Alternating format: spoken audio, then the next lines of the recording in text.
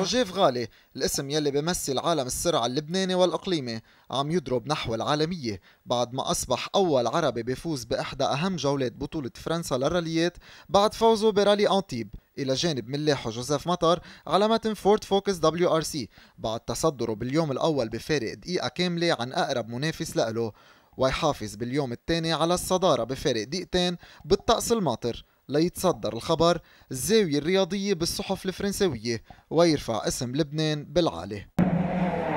غالي وبعد إنجازه العالمي رح يكون طبع اسمه بالخط العريض على صفحات عالم الرالي يلي رح يحمله للتاريخ.